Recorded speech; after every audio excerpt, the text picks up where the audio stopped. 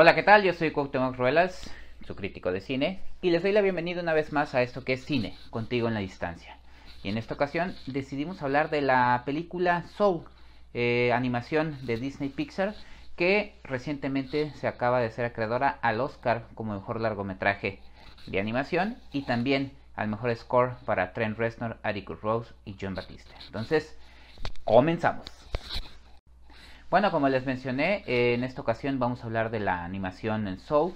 No había tenido oportunidad de platicar de ella, eh, pues se habían cruzado varios, varios títulos, varias producciones y otros, y otros temas cinematográficos, pero siempre eh, quise platicar porque me llamó mucho la atención que desde el momento en que se estrenó la película en la plataforma de Disney Plus, siento que dividió las opiniones, tanto de la crítica como del público. La crítica eh, también ya parecía que se comenzaba a cansar de que Pixar eh, quisiera hacerse acreedor a premios inmediatamente con estos títulos y el público también empezó a, a opinar de que la cinta no sentían que fuera totalmente para niños, que los temas eran muy densos eh, en este caso, ¿no? Y en ese sentido fue la razón por la que a mí me ha llamado mucho la atención el trabajo de su director, Pete Doctor, que en esta ocasión codirige con el dramaturgo Ken Powers y también coescribe la historia, eh, de la manera en la que entregan esas historias. ¿no? Pete Doctor ha hecho otros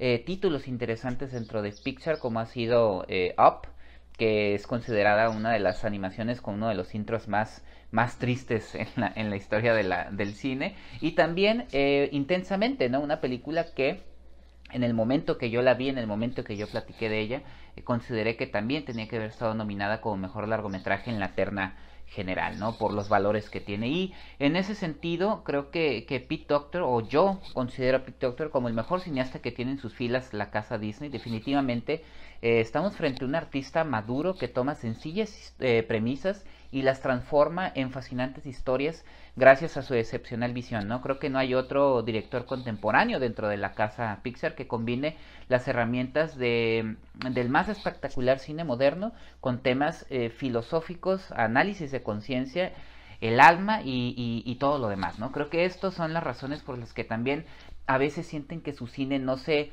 no se adapta a los convencionalismos del, del llamado, entre comillas, ¿no? Cine familiar, ¿no? Algunos comentarios también dijeron que, que cómo iban a vender juguetitos de la película, ¿no? Entonces creo que también son ideas un poquito preconcebidas que no son, este, que no, que no, que no analizan de la mejor manera eh, estos estas producciones que realiza Pete Doctor, ¿no? Y ahora con Soul, Doctor y su equipo de colaboradores, entre los que se encuentra el ya mencionado Ken Powers, pues demuestran nuevamente que tienen confianza en su público. Eso es lo que me gusta de sus películas, ¿no? Desarrollando con toda la sobriedad, impacto emocional y los infaltables también este, toques de humor que, que, que, el cine familiar debe contener para contarnos la historia del músico de jazz llamado Joe, que en la versión original es la voz de Jamie Foxx, quien lleva toda su existencia ensimismado buscando su gran momento de triunfar, eh, pero que después de un accidente este, eh, este queda entre la vida y la muerte y debe encontrar las verdaderas razones para existir. Esto eh, con ayuda de una pequeña alma que, se, que es la número 22, que era originalmente la voz de Tina Fey, y está en el limbo, por así decirlo, ¿no? Tiene que eh, saber encontrar su lugar y saber si va a regresar a, tomar su, su, cuerpo, su cuerpo físico, ¿no? Entonces, de ese modo creo que Soul consigue eh, sumergirnos en sus amplias ideas, evitando eh, incursiones en el sentimentalismo. Eso, me gusta también de Pete. Y al mismo tiempo mantiene un cálido tono de honesta, de honesta humanidad. No obstante, y como siempre ocurre en las películas eh, de este director no hay respuestas fáciles, ¿no? Tampoco hay soluciones simples a las preguntas que plantea y eh, sobre todo los personajes, ¿no? Y más que darnos una lección, eh, Soul pretende, desde mi punto de vista, alimentar nuestra, nuestra imaginación para que eh, cada espectador encuentre por su cuenta las enseñanzas o la enseñanza que contiene el libreto, ¿no? En este caso, eh, coescrito, como ya dije, por el dramaturgo Ken Powers, ¿no?